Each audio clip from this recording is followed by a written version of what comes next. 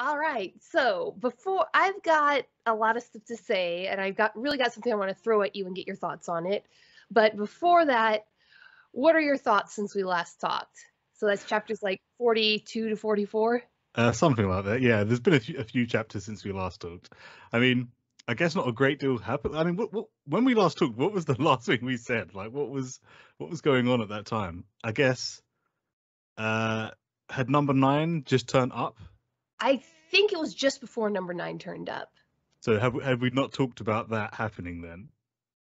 Yes, because I, I know we we haven't talked. I, te- I I texted you. We, we texted each other Yeah, about number number nine actually splitting and showing two bodies at once. that's right. but, we- yeah. but we did not discuss that in in person. Okay, right. So the last thing we must have spoke to each other about was just number nine's appearance at the end of that chapter, rather than what happened after. Yeah. Okay, cool. So what what kind of just for me, obviously, what sticks out in my brain is the confirmation that number nine is a cordyceps fungus type kaiju, and Yeah, that he can sure. not not only replicate himself but take over bodies. But what what was your woohoo moment from the from these past few chapters? Uh, honestly, it was it was funnily funnily enough, it was mostly that because I remember I was reading and um, when I saw number nine split himself into two, the first thing that came to my head was like, "Oh, Betty's gonna be losing her mind." and I remember laughing out loud for like a good five minutes reading the chapter, just thinking, "Oh my god, Betty is gonna lose it." um, but yeah, that I was a really cool moment. Yeah, and it's much, I just, the depth of the research that went into that imagery was fascinating. It, it went even beyond what I, more than what I knew because for my video, I wanted to find a really good picture of a of a of a cordyceps fungus doing what it does. And in searching, I found a scientific article by a guy named Fredericksen. eh, Well, Fredericksen et al. There's a lot of people on these who do the work on these research and they actually had a GIF within the paper. It was a digital paper, and it showed basically they took a thousand. They took a a muscle from an ant that had been wrapped around by the zombie fungus, and they sliced it thinly, like thousands of times, oh. and then they built up a 3D image of what it looked like the fungal fibers growing around the ant muscle. So this is this is an ant muscle with teeny little fungal fibers growing around it. So this is all on a nearly molecular scale.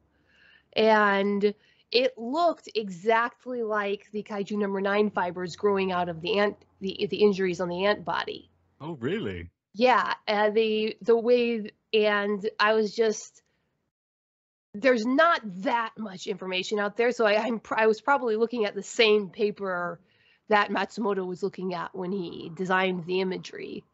Yeah, so it's a good chance. yeah, it, that was really exciting. And then, of course, there was the big thing that made me think Grim is gonna love this. It was when Hikari Shinomiya showed up. yeah, yeah.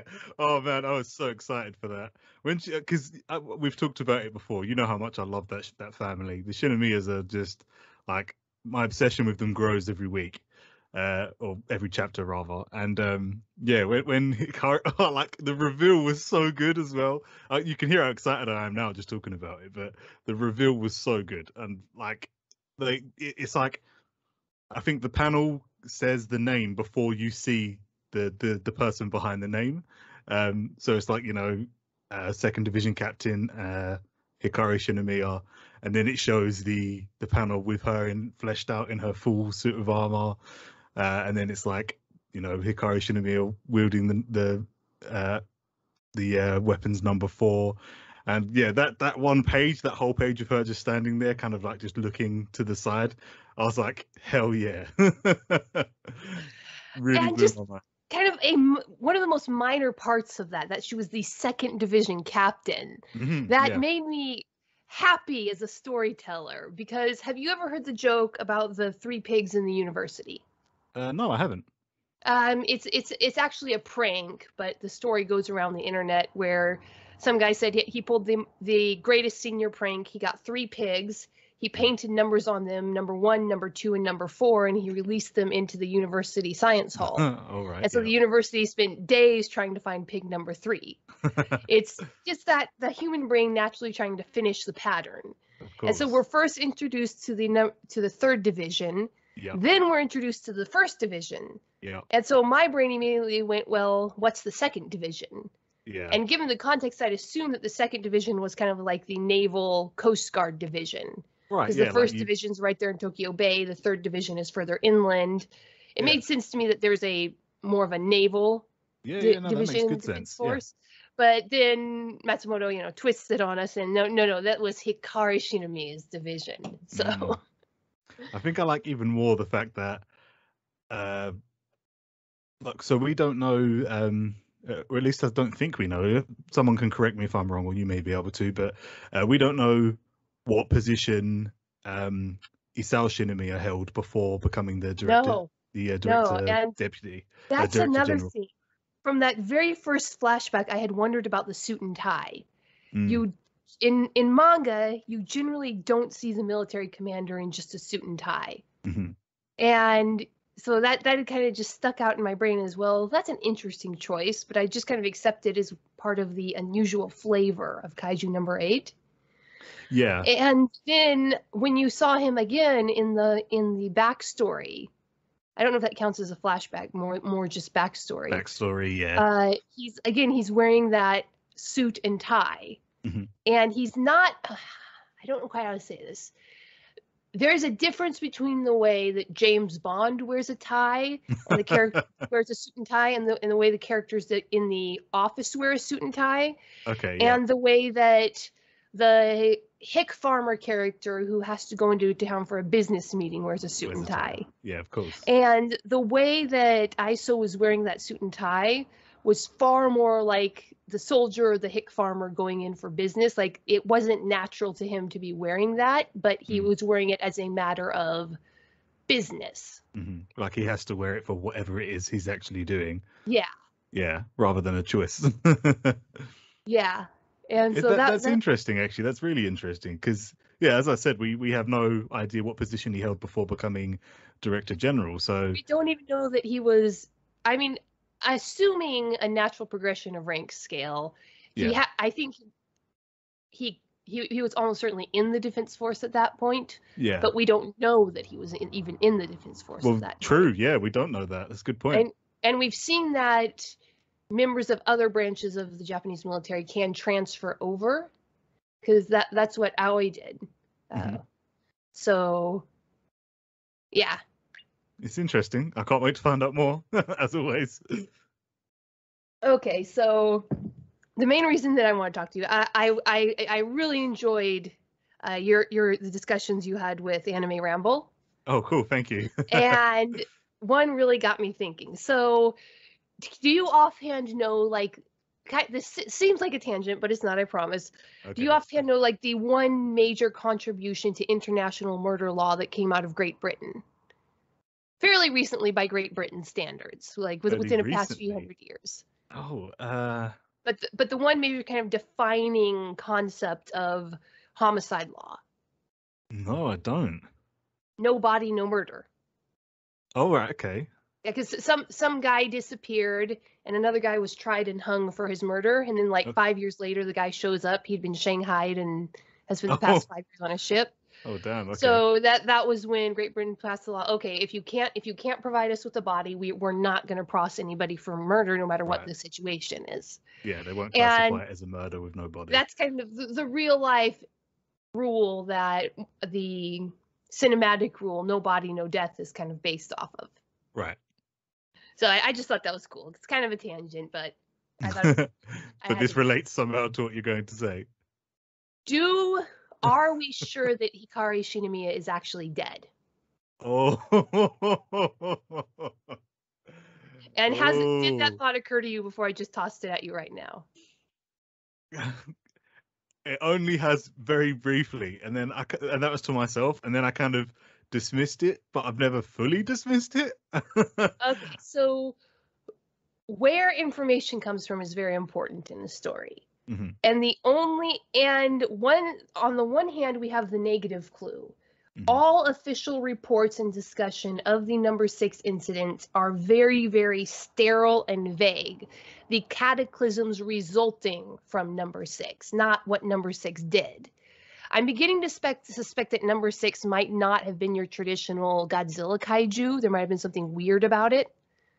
Like They maybe it released it to gases be- or Yeah, they definitely paint it to be, uh, uh, you know, a completely unique force to be reckoned with yeah, from what they faced before. the all the death the death toll came from the cataclysms resulting from Mhm. not directly and but when they're talking about the more conventional kaiju they like kaiju number two destroyed sub, the ci- city of sapporo That's They- right. it's a very active voice but it's a very Mhm. passive voice for kaiju number six and they never there is never any official statement that she died from the official people talking because i believe me i went through and i checked the only place it says she's you. dead it's very telling because it's when iso is talking to kikoru hmm and he says your late mother Right.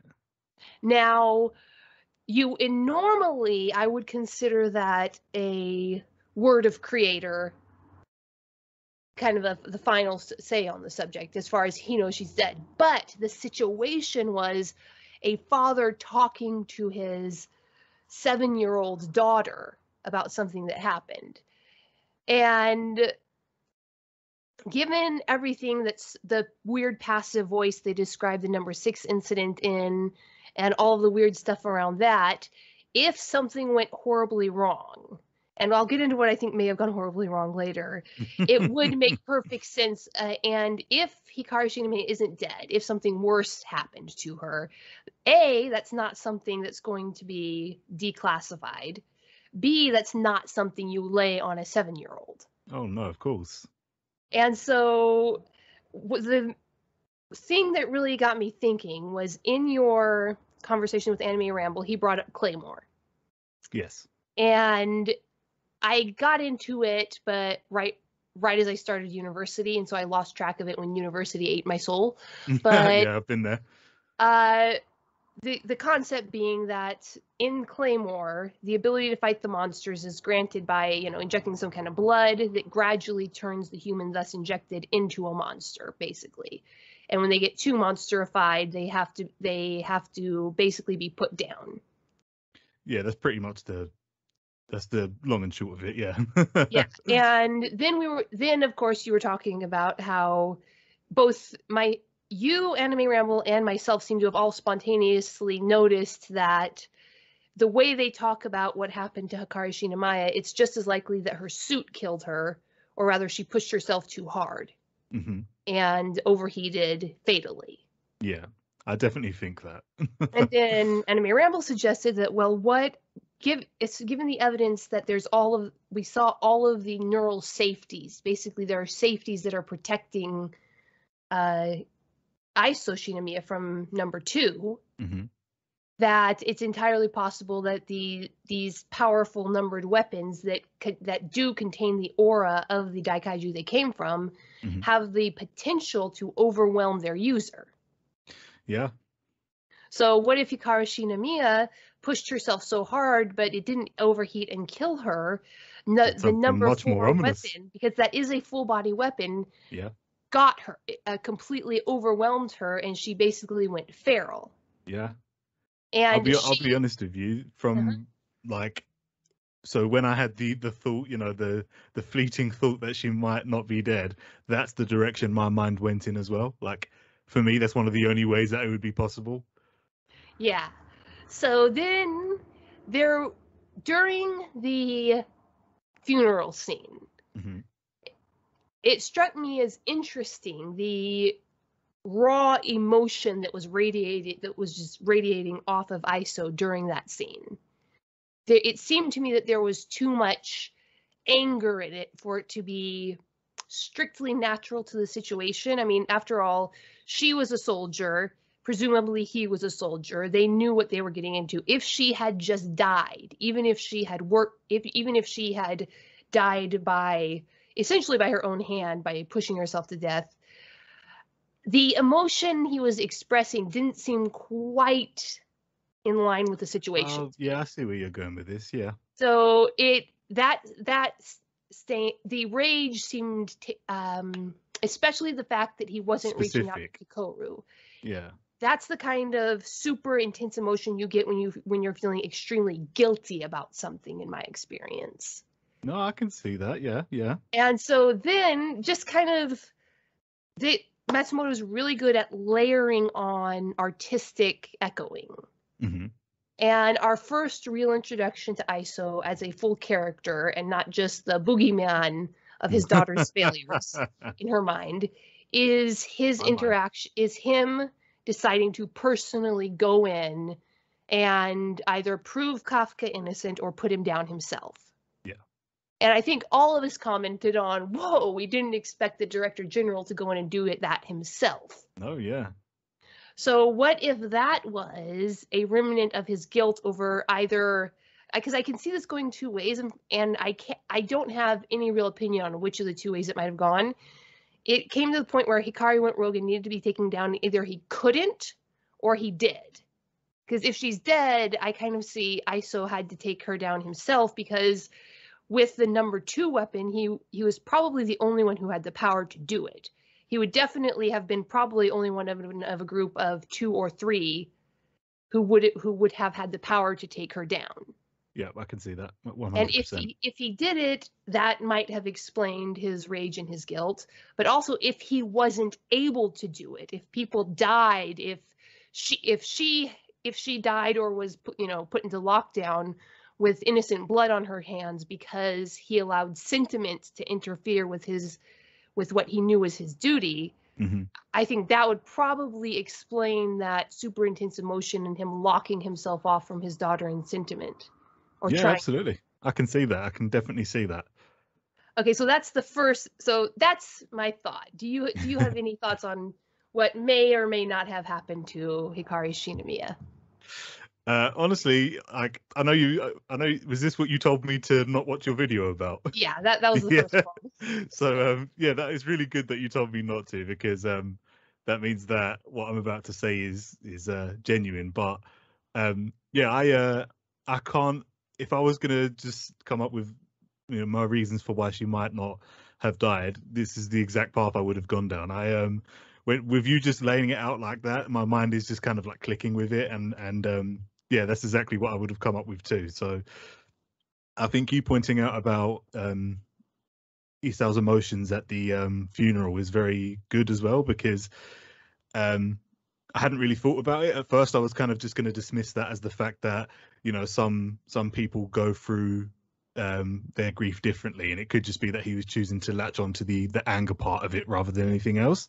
But I can definitely see with you explaining it like that how um you know the the guilt of the situation or you know depending on what it what it would have been could have influenced that kind of emotion coming out of him instead and i could definitely see that especially um i especially i think out of the two i especially like the idea that he may have had to put her down himself um so if we do go more down the route that she is dead i i definitely i think i like the idea that he had to deal with her more than the fact that she might be alive if that makes sense Yeah.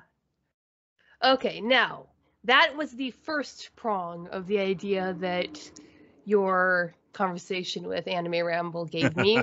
the second prong goes back to a the- uh, one of my theories that has not been confirmed nor or denied yet. Remember, I I mentioned that uh, I think it was Blue Green Phoenix and I were talking over on Reddit, Mhm. and Blue Green Phoenix. I, I was listing why I thought number nine would be a more continuous villain than a one-off oh yeah because of all of the weird um, mirrors that number nine has with number eight, both visually and character wise. And Blue Green Phoenix brought up that also, as Kaiju number eight, Kafka seems to have the ability to s- suppress Kaiju in the same way that number nine has, in the, in the opposite way that number nine has of reviving him. Mhm. And there's three main pieces of evidence. The first one is when he rescues Kikoru the first time. He there's this really funny scene that's played for laughs that goes he goes, let's see you regenerate from that. And they actually start to regenerate. And then he says, stop it, stop it. I didn't mean it. And they stop regenerating. And at the time, I thought it was just a play on playing off of his naturally humorous, humorous character and, and an accidental timing. But then, and then when he punches the bomb, there, at the time, I didn't think too much about it because it was rule of cool, and I was I am more than happy to ignore cool. plenty of plenty of inaccuracies for the rule of cool in a manga like this. That's but he punches the bomb and it doesn't go off for several seconds later. Mm. And the manga makes a point of that. It spins it, it doesn't spend time, it spins panels. Yeah. Showing you that there is a time delay between when he punched it and when it detonated, which is what allowed it to go higher up in the air and what appears to have saved the base. Which makes no sense because if you just punch a bomb, uh, there's not a single type of bomb I know of that if you punch it really hard right before it's about to go off, you have a delayed it, reaction. yeah, it might stop it from going off entirely if it like uh, yeah, disconnects. Yeah. That would be more believable things, than but it doesn't uh... delay it. Yeah. And so if he and at, and right right before there was the charge up scene where he was exuding all of that kaiju energy, and then he punches it. And th- there was a third instance. Oh yeah, when, the, but the main one was when he was fighting Kaiju number nine to rescue Reno. Kaiju number nine flat out states, "I can't regenerate. Something's something's wrong. It's abnormal." That's right. Yeah. And again, there was a lot of emphasis put on that. So that kind of led us to suspect that Kaiju number eight has the ability to suppress um, the growth of Kaiju tissue. Interesting. Okay, and then you, the main emotional arc of, of Kikoru, the thing that's kind of fascinated with us her, with her character because she was she was such a peculiar manga character from the beginning. Mm-hmm. Comes off as a tsundere, but is from the beginning 100% main character levels of loyalty to her companions. Then we discover that's yeah. because of her mother and her guilt over not being able to save her mother. Mm-hmm. So we have that. Just keep that thread in mind for a second. Yeah, I got it. I got it. Okay. Now, one thing that I've I've done several comparisons, so this probably just exists in my own mind, but the writing style of Matsumoto sh- shows a lot of similarities to Tolkien's writing style to me. The emphasis on relationship and wholesomeness and how there's good in the world and it's worth fighting for. Yeah, and one of the main themes of Tolkien's Lord of the Rings was it was it was not the giant combat scenes that saved the world. It was the small act of kindnesses, kindnesses and compassion and goodness, as exemplified by Bilbo and Frodo both sparing Gollum when they could have easily killed him in what mm-hmm. might even be semi-justified situations. Yeah. And ultimately, that's what allowed the ring to be destroyed. Okay, now take those two ideas and follow me as I put them together. I'm with you. I'm Hikaru with you. Kikoru believes that she was unable to save her mother. Mm-hmm. And I, I ha- he hasn't actually absolutely stated this, but I have no, I have no, there's no doubt in my mind that he, Iso also believes this, that he failed to save his wife. Oh yeah, I, yeah, 100%. Now there are no two characters who have had more to do with keeping Kafka alive than those two. yes, agreed.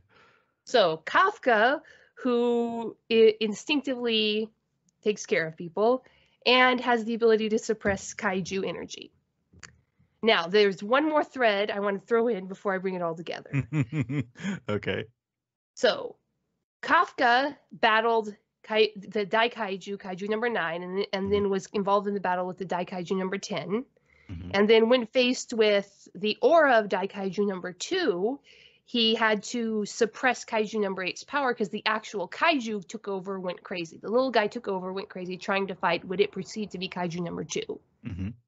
So if the story's following up on the sapience of the little guy at all, it's going to have to involve an arc where where the little guy learns to differentiate between actual daikaiju and a human wielding a daikaiju weapon. Mm-hmm. So, what if, and this is just pure pipe dream crackpot theory now. Yeah, that's what all the fun's about. What if we're heading towards an arc where Kafka, as kaiju number eight, is going to encounter Hikari as the feral kaiju number four? Kafka goes to Oof. fight her, but the little guy recognizes that instead of being a true Daikaiju, this is a human in a Daikaiju suit. And then uses that kaiju suppression power to rescue Hikari from the feral Daikaiju state. Oh man, okay. okay. That would be crazy. that would be wow. Yeah, that would be pretty hype. Not gonna lie, that would be pretty hype. I Because he would be like the only like if we if we take everything that you've said as gospel uh yeah, if that you, point. if, if you I counted out there's like five unproved theories involved. Of course, yeah, but like that's what theories of that's why theories are fun. Like that's we're just we're just talking, we're just chilling. Um, but yeah, if we take everything that you said up to that point for gospel, then we can assume at that point that Kafka's the only one that would have the power capable to even do this. Whereas it's the kind of power that the defense force would have never have seen, heard of, even thought possible. So yeah, that it's really cool to think that if that was the case, you know, Kafka And suddenly comes along and then suddenly, you know, he's able to do that. That would that would change a lot for a lot of people. Yeah, and the only reason that he's able to do that is that Kikoru stood up for him and Isos fought for him. Oh right, yeah, exactly. So it's kind of like it's almost like paying them back in some way. Or yeah, and it's almost like Kikoru retroactively actually managing to save her mother. Oh yeah, I could see that. She saved Kafka, and now Kafka saves her mother. Yep. Yeah, dude, that's dope. I like that. I like that. Yeah, that I, That's a cool theory. it was a lot of fun mulling it over because it you know how these things they, they just kind of come to you. Oh, that yeah, theories usually do, and then you have to spend time kind of thinking, yeah, but would that work? But but Yeah. but, and then you and then when you land on something you think would work, that's that's what makes it so much fun. Yeah. I love theories. they they are a lot of fun. So, speaking of, where do you think that that if that story plays out, of course, that's going to be some distance in the future. But oh yeah, that where do won't you be think the next soon. chapter is going? Uh, next chapter, right?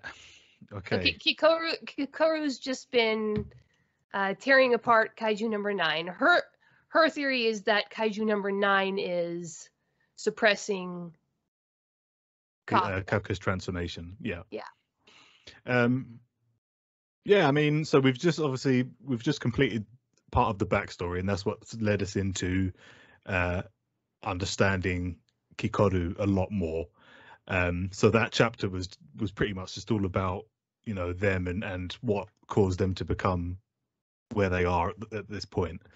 Um, so next chapter, I imagine, well, obviously, we're going to kick things straight back off with Kikoru most likely because she was in the middle of a swing. um, but I think as hard as she, because we have to remember as well, she's injured. Um, she does, she did take a hit. It's not like she's Yeah. not taking hits. So in terms of how likely it is that she can pull out a W here, I'm not sure. Um, I think it's more likely that she'll, you know, she'll try her hardest and she'll probably get pretty close, or she'll at least push nine to towards his upper limits. But I still think it will get to a point where somebody stronger is going to have to jump in, and um, it will once again humble Kikoru. Even though, even though she doesn't act like, well, I don't think she seriously acts like a big head. I think No. she you know, at the beginning when she was introduced, she gave this impression that she was a big shot and she was better than everyone else. But I don't think she truly feels that as much as she acts that. Because as we've seen, she clearly doesn't think she's anywhere near strong enough. And everything that she's working towards is in the pursuit of becoming stronger, so that she can protect those that uh, that you know she can protect those on the battlefield. Um, so yeah, I think I think someone stronger still has to come along to kind of it will be a it will be a point where for, for Kikoru she's she's accomplished so much but she's still got much further to go. And that will just open the room for more development in her case because we know that she's going to get much more powerful. Um you know the story is painting her to be someone that will reach that captain level for sure in my opinion. Um so yeah i think next i don't know if it's going to be next chapter or the chapter after because obviously um the way they're going to pace the battle is up for anyone's guess but i think it's more likely that someone stronger will come along. So probably it's most likely going to be in the case of Narumi at the moment because he's he's there, even though he's dealing with his own number nine. Yeah. I don't think that I don't think that's going to be as much of a challenge for him. I think it's more of just a deterrent for as long as possible. But uh, yeah, we shall see. that's my thoughts on that at the moment. So Humans Are Weird. We took a vote. The second book of Human Absurdity is now up and going on Indiegogo. If you follow the links below the video, you will be able to pre order your copy of Humans Are Weird. We took a vote in electronic format or paperback format. Now, as last, same as last time, everybody who orders the paperback format will automatically get the author read version of the Humans Are Weird audiobook. And in addition, this time, I am going to announce one of my first stretch goals. If I sell 500 books, then I am going to take the money and I am going to hire the local studio to make a full on audiobook. High quality, professional recording, professional scripting, everything. So that's going to be my first announced stretch goal. At 500 books, I am going to hire Willamina Studios to make a full on audiobook. Everybody who orders a paperback book will get the audiobook as a matter of course if we reach that first stretch goal. All right. Humans Are Weird. We took a vote. The second book of Human Absurdity available on Indiegogo. Check out the links below.